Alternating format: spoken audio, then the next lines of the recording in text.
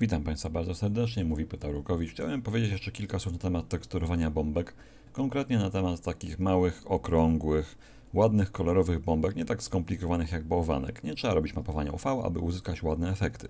Na początku może zaimportujmy sobie zwykły obiekt, taki jak bombka. Włączę tylko wyświetlanie klawiszy i zasada jest importowania taka. O niej wspominałem już kiedyś tam w kursie na samym początku. Naciskam Shift F1, aby otworzyć okno wczytywania plików i teraz wybieram sobie obiekty, czy też pliki Blendera, które mam tutaj przygotowane już w jakimś tam katalogu. To jest mój katalog z Blenderem, z materiałami, z bombkami. Wybieram sobie plik, który zawiera jakieś tam obiekty i teraz mogę wczytać z tego pliku, bo on się otworzył tak jak katalog, dowolny obiekt, na przykład brusz, kamerę, grupę, jakieś imidże, które tam są wczytane do środka, zapamiętane. No więc mogę wybrać sobie object, pojedynczy obiekt, który pociągnie ze sobą mesza i jakieś ewentualne materiały, albo mogę wczytać grupę. Jeżeli wczytam grupę, o ile one były wcześniej zrobione, to mogę wybrać jedną z grup, która nazywa się bombka. I ta grupa zawiera trzy obiekty. Jeżeli wezmę sobie, kliknę link append, w tym momencie do mojej sceny wstawiona zostaje bombka. To jest bombka, która jest okrągła, która wygląda w ten sposób. Ma bardzo prostą geometrię. Mam także taki mały kapturek, który jest jakby uchwytem na tą bombkę i mam dodatkowe taki drucik, który najczęściej robiony jest z jakiegoś takiego błyszczącego, płaskiego materiału, na przykład z metalu. No i teraz takie coś można poteksturować bardzo prosto, nie wykorzystując w ogóle mapowania UV ani jakichś zaawansowanych technik. Wystarczy tylko taką bombkę odpowiednio obrócić, aby się wydawało, że leży na płaskim. Przy okazji, te elementy są osobne od siebie. Jedyne co je trzyma razem to zwykła opcja parentowania. A więc bombka jest tutaj tym głównym obiektem. Do bombki zaparentowany jest uchwyt, który jest luźny i do uchwytu jest zaparentowany drucik. Ten drucik to jest zwykły mesh. Zrobiony został z krzywej i na ten temat był osobny tutorial. Więc teraz tak, jeżeli mam taki obiekt, dodam jeszcze sobie jakąś, jakieś podłoże, zadbam o to, aby ten obiekt rzeczywiście leżał tak, jakby dotykał powierzchni. No i teraz się mogę przełączyć do Cycles i zrobić tam porządek z materiałem. A więc przełączam się do widoku renderowanego, tu jest moja bombka, zobaczmy ją troszeczkę na ukos, tak wygląda. No i teraz zacznijmy od materiałów. Materiały w tym przypadku mogą być bardzo proste. Nie musimy tutaj korzystać z jakichś super skomplikowanych rozwiązań, bo sam Cycles jest na tyle dobry, że pozwoli nam to bardzo ładnie uwidocznić to, że ta bombka jest rzeczywiście ładnie błyszcząco zrobiona. A więc teraz tak, zaznaczam na początku drucik, i dla tego drucika wybieram nowy materiał, nazwę go drucik, aby zachować jakąś, jakiś porządek w pliku i ten drucik będzie typu zwyczajnie glosy. Zwykłe glosy z powiedzmy sobie roughnessem ustawionym na 2, no i wybranym kolorem, być może jakimś takim lekko niebiesko-srebrnym, coś w ten deseń mogłoby być. To wystarczy, aby taki drucik wyglądał całkiem elegancko. Teraz uchwyt bombki, mam tutaj zaznaczony, dodaję do niego nowy materiał, nazywam go uchwyt, czy jak ktoś tam nazywa zawieszka, za, zawieszka, zaczepka. Również na, nadaję temu materiał glosy, ustawiam lekko pomarańczowy, złotawy kolor i roughness, oczywiście znowu na wartość na przykład 1, aby był wysoki połysk tego elementu. No i pozostała mi bombka, do której dodaję materiał, nazywam go oczywiście bombka, bombka domowa.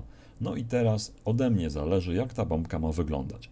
Jeżeli chcę zrobić bombkę, która nie ma w ogóle połysku, jest szorstka, no to mogę pozostać przy materiale diffuse. Jedyne co muszę dodać do takiej bombki to jakieś kolory. A więc mogę dodać kolor, który jest jednostajny, ciągły, ma wtedy ładną zieloną bombkę i to jest podmetana sytuacja.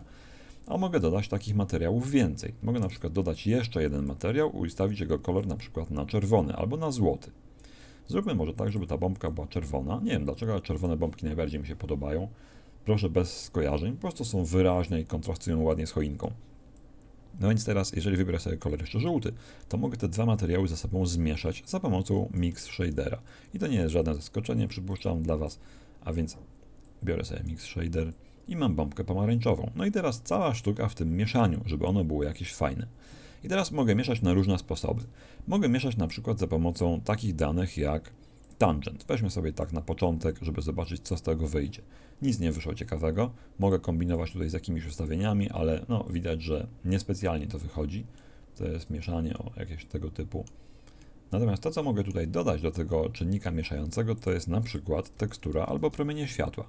Jeżeli wezmę promienie światła, na przykład layer waked W tym momencie będę mógł podać tutaj współczynnik Fresnela i za pomocą tego współczynnika określać, jak bardzo te dwa kolory się ze sobą zmieszają oraz w jakich częściach geometrii tej bombki.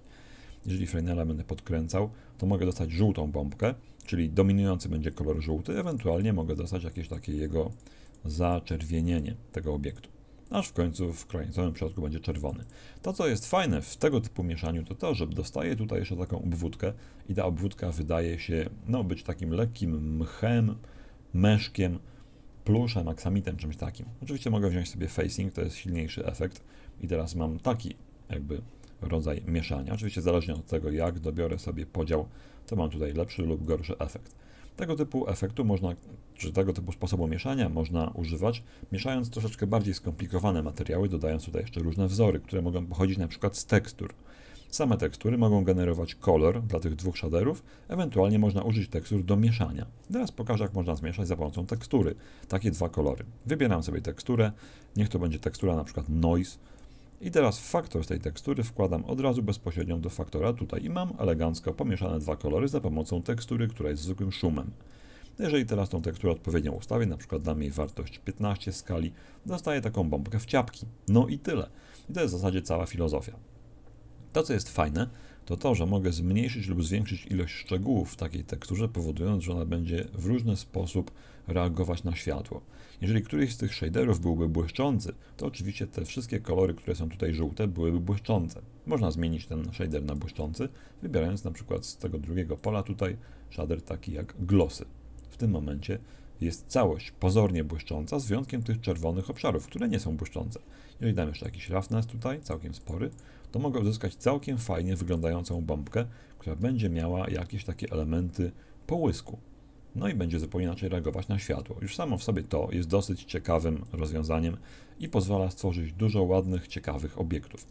Mogę wykorzystać oczywiście inną teksturę. Zamiast noise mogę wykorzystać teksturę, która się będzie mogła nazywać na przykład Voronoi. To jest jedna z moich ulubionych tekstur, chyba już się domyślacie dlaczego.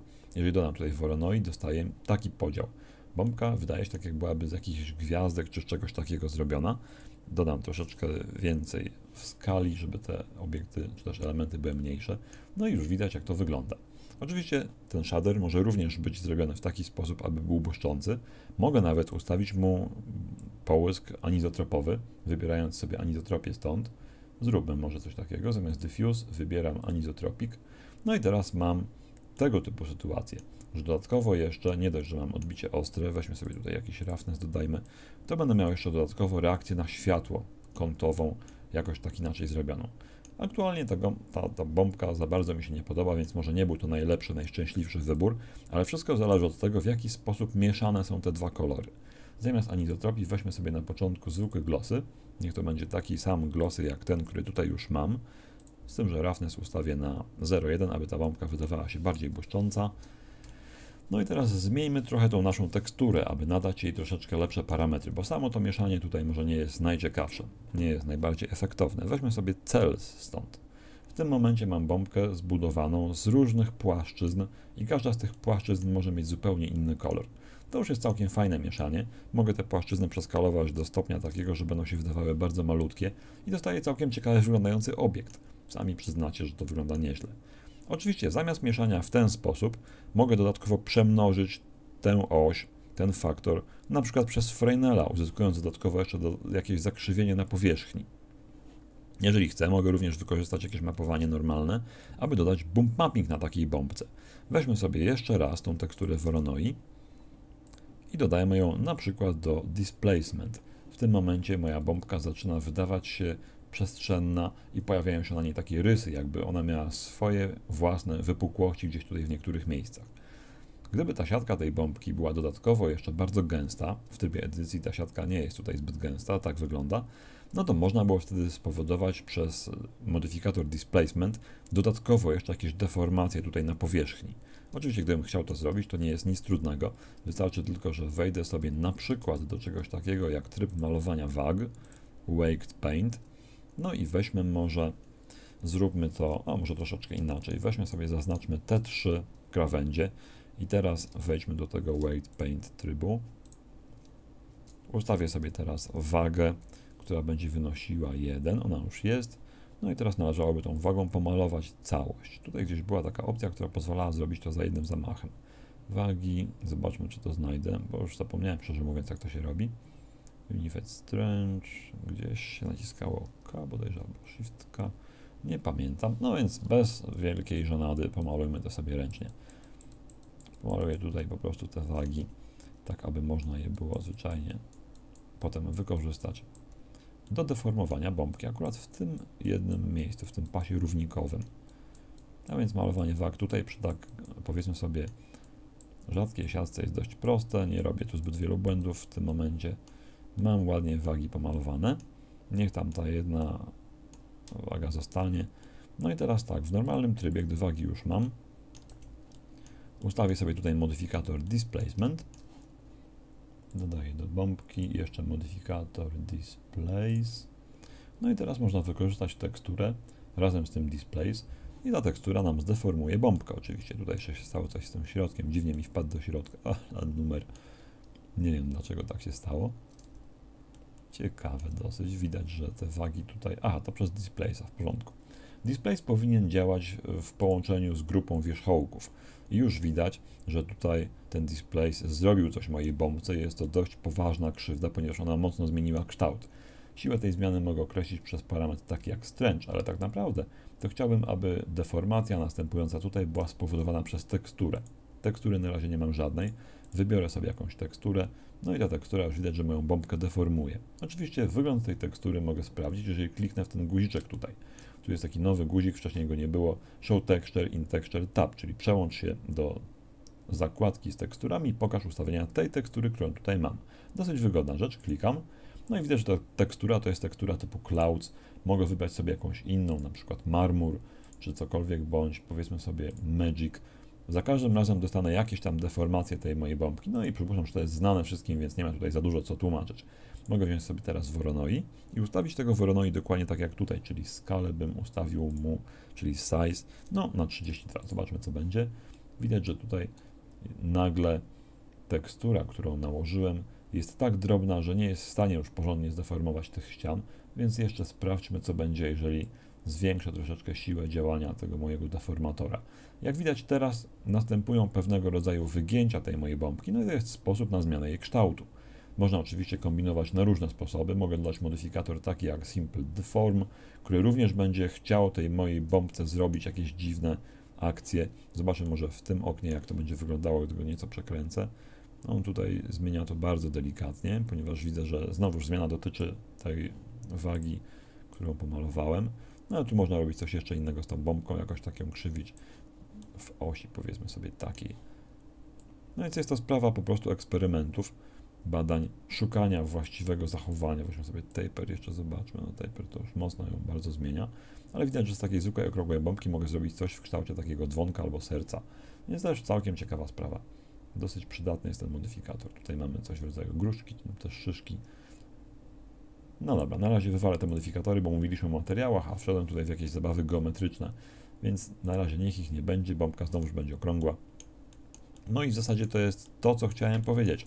Zwykłą bombkę możemy zrobić bardzo ładnie za pomocą takich zwykłych, prostych operacji, czyli zwykłego mieszania dwóch shaderów za pomocą jakiegoś tam czynnika, który może pochodzić z tekstury albo z promieni światła, które pokazywałem wcześniej. Myślę, że to jest wystarczające, aby zbudować jakieś ładne bombasy, więc chętnie bym zobaczył to, co Wam wyszło. Przyszlijcie jakieś prace, gdyby były gotowe. No i tymczasem pozostaje mi tylko Was pozdrowić, powiedzieć dziękuję za uwagę i do zobaczenia.